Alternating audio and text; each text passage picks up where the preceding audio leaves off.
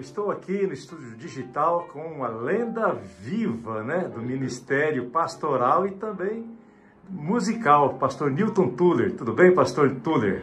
Ah, Vonil, eu estou bem e quando estou com você estou melhor ainda, viu? Porque Que você legal. é um especial amigo. Amém. Idem. Pastor, não tem como olhar para o Senhor ou, sem pensar na grande obra né, que o Senhor escreveu, é, o hino Vaso Novo.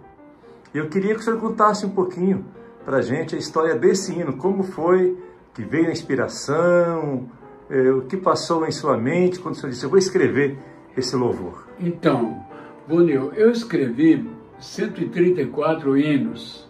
Eu pensei que tivesse escrito muitos hinos, né? Mas quando a gente olha a história de Carlos Wesley, escreveu centenas, milhares de hinos, eu acho que eu não escrevi quase nada. Mas aconteceu uma coisa interessante.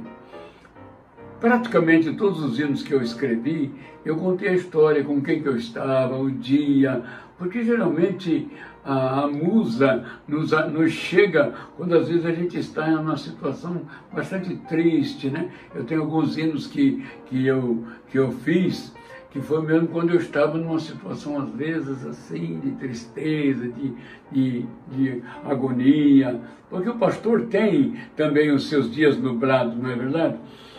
Mas uma coisa, dois hinos que eu não escrevi a história. Um é Vaso Novo, outro não me lembro agora. Mas desses dois hinos eu não escrevi a história.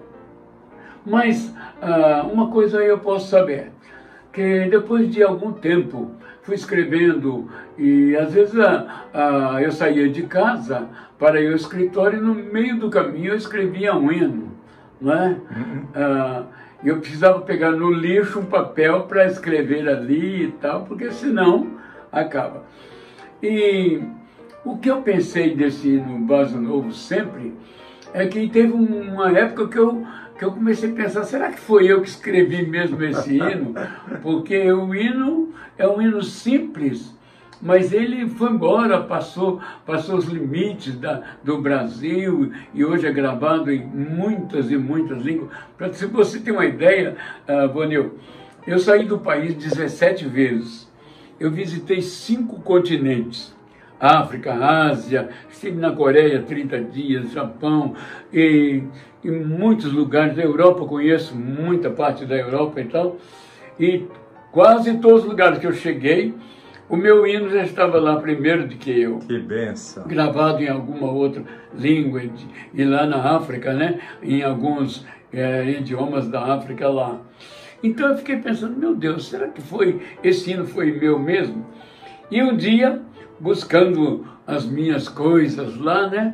E um pacote daqueles rascunhos que eu fazia de hinos, que eu tenho guardado até hoje.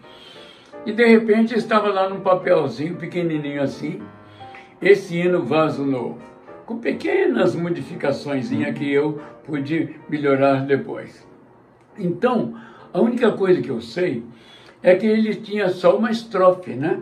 Certo. Hoje ele tem três estrofes. No Inário Adventista tem duas estrofes. Geralmente é conhecido por duas estrofes, mas É. então são três então. Mas são três estrofes. Né? A última estrofe é muito importante, porque o oleiro, o, o barro está ali na mão dele e o oleiro modela o barro. Né? Então por isso que eu cantei. Ah, Modela-me, Senhor Jesus. Né? Então é um, um modelo ah, do, do vaso novo, que o, o, o, o homem tem que mo- ser modelado por Deus. Né? Amém. Então, agora, uma coisa eu posso dizer para você. O que tem de histórias que eu conheço do Vaso Novo. Uma vez eu estava em São Paulo, na Praça da Sé, ali estavam os peruanos, estavam ali vendendo aqueles, aqueles CDs deles, aqueles instrumentinhos de bambu, e de repente tinha ali um toca-disco e meu, meu hino estava tocando ali.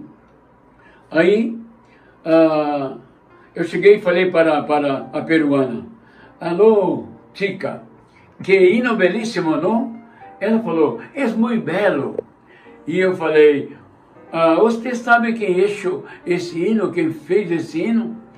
Ela disse, não. Eu falei assim para ela, e eu? Ela falou, oh mentiroso, você é muito mentiroso.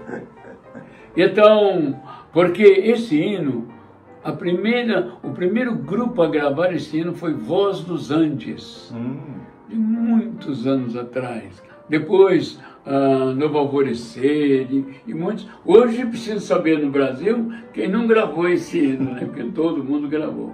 Até então, eu gravei, né? Até você gravou. E por sinal ficou uma, uma obra de arte, né? Porque você bem. grava bem. Então tem muitas histórias desse hino, né? Pastor, é, alguma experiência que alguém escreveu ou falou para o senhor é, que esse hino mudou a vida dele, transformou? O senhor tem ouvido falar alguma coisa? Ah, chegou para o senhor já alguma história, alguma experiência? Cada vez que eu canto esse hino em algum lugar, depois do culto, alguém chega para mim e fala assim: Olha, eu canto esse hino desde criança, eu me converti com esse hino.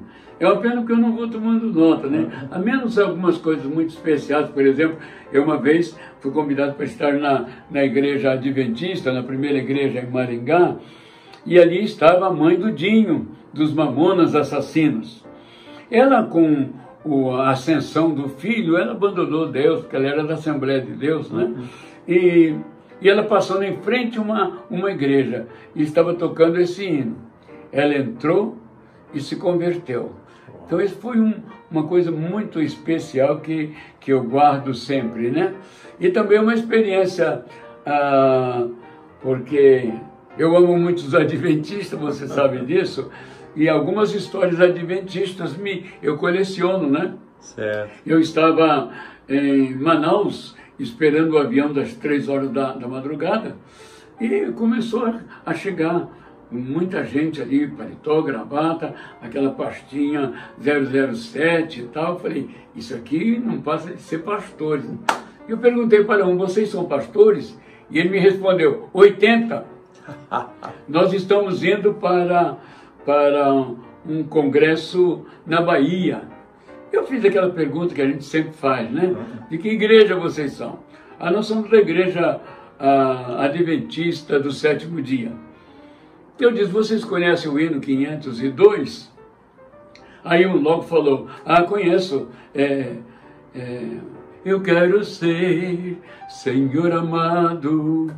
Aí eu falei, vocês gostariam de conhecer o, o autor desse hino? Aí ele falou, ele está aqui no, no aeroporto? Eu falei, está. Então, reúna aí. Reuniu a, a congregação, né? Eu tinha ali 80, 80 ouvintes ali. Aí eu falei, olha, vê como é que está uh, o, no inário de vocês aí, Newton Tuller.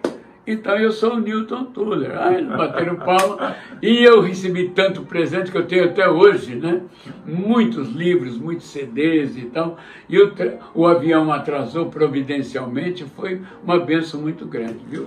Pastor, para encerrar essa entrevista, o senhor poderia cantar a capela mesmo, então, as três estrofes, né? Porque a maioria conhece só duas, né? Cantar esse lindo claro, louvor, claro. esse clássico, né?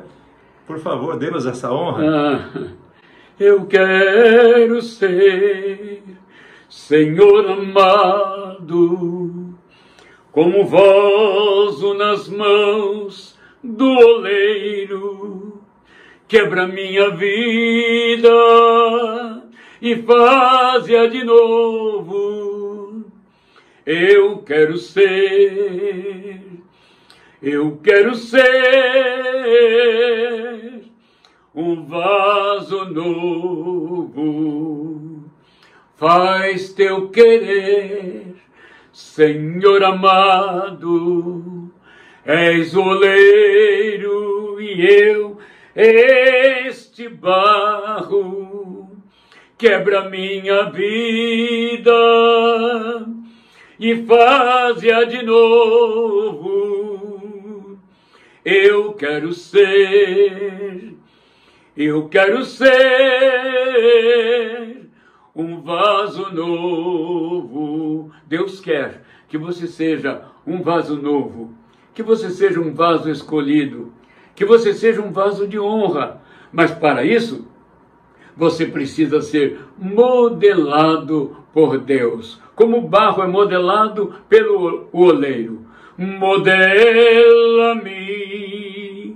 transforma o meu ser, faz de mim o vaso escolhido para levar o amor aos perdidos. Eu quero ser, eu quero ser um vaso novo.